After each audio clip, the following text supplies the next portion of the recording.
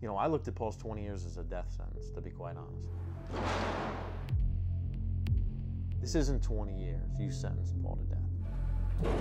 A death sentence because 27 year old Paul Smith is mentally ill and locked up in Maryland's only maximum security prison, the North Branch Correctional Institute in Cumberland. As far as we know, he's not receiving any treatment. Medication? Not that we're aware of. Uh, Convicted of a string of unarmed home burglaries, Paul was sentenced to a staggering 80 years, 60 of which were suspended. Paul has by far gotten more than people who have taken someone else's life. Paul's parents further allege he has been held in isolation here since 2009 because of his inability to conform to prison rules. The Department of Corrections calls it segregation. The Smiths call it solitary confinement. For people with mental illness, uh, solitary confinement is shattering. Uh, they get sicker, they mutilate themselves, they attempt suicide, and uh, often they succeed.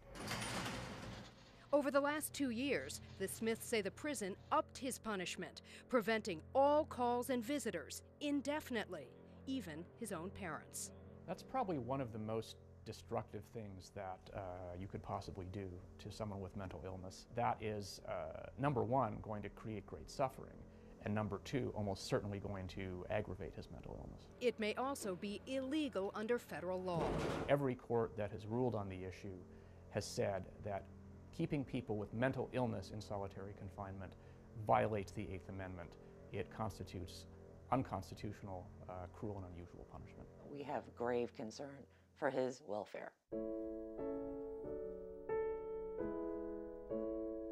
Diagnosed with autism and ADHD at a young age, Paul was later treated for bipolar disease, paranoia, impulse control, and explosive disorders, among others. Paul was about two years old in this photo.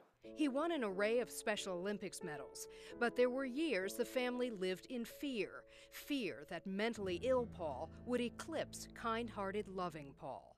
He was in my car and he had took out a knife and he said, This is a very sharp, sharp knife. And he proceeded to cut his seat. No, you better get ready for, you know, war.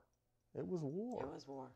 The Smiths tried conventional punishments like grounding him or taking away his television. It never worked.